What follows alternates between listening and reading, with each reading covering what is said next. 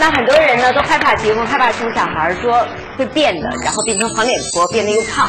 其实呢，现在要打破这个观念，因为我们的科技太发达了，嗯我们的生活太美好了，有很多人愿意帮我们解决这个问题。从生完孩子，月月月子料理公司就来了，成了以后有各种书籍和美容用品、先进产品供我们使用，我就是最好的小白老鼠，可以跟大家分享。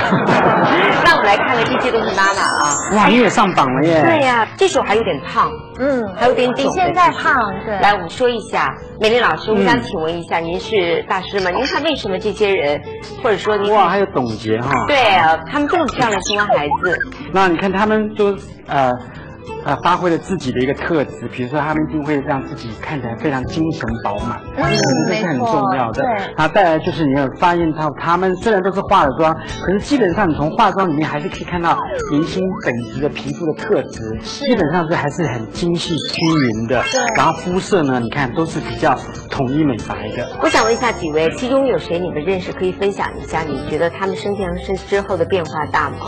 王真，王就认识李静，哎呀，那你没见过我之前吧？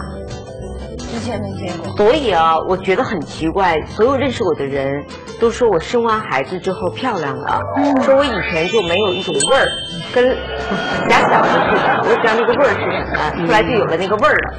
我觉得啊，因为其实我虽然没有见过静姐生孩子之前，但是之前有一期我们做节目的时候看过静姐之前的照片，你记得那一次吗？怀孕的照片还是吗不是，在怀孕就结婚之前的照片吗？有一些应这个人莫名其妙，你知道吗？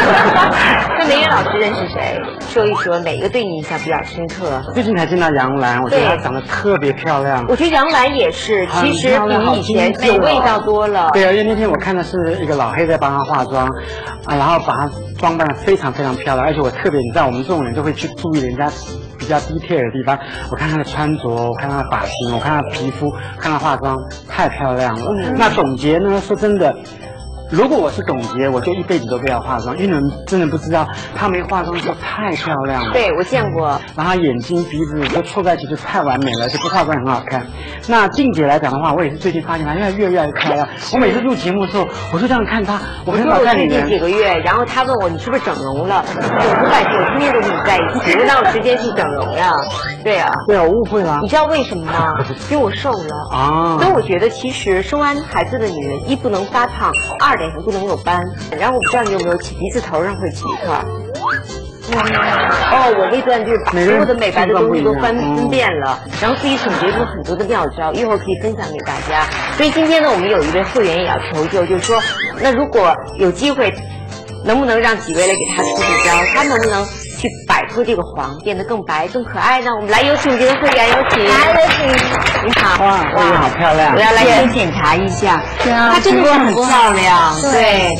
五官很有立体感，然后脸型也很小巧。谢谢嗯，你觉得自己黄吗？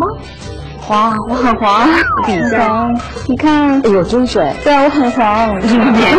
咱别别抢这个啊！那黄不黄不由你说了算。我们听说思雨这有一测试卡，对吧？有一个对